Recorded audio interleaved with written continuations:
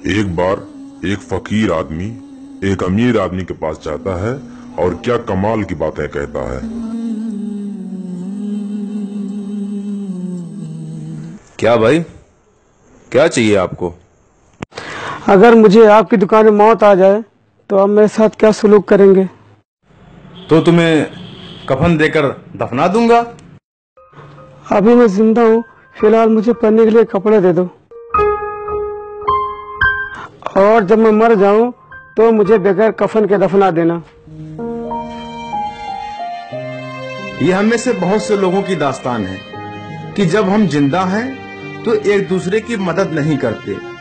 लेकिन मरने के बाद एक दूसरे के लिए आगे बढ़कर नेकियाँ करते हैं। अगर कदर करनी है तो ज़िंदगी में करो। क्योंकि मरने के बाद क्या फ़ायदा?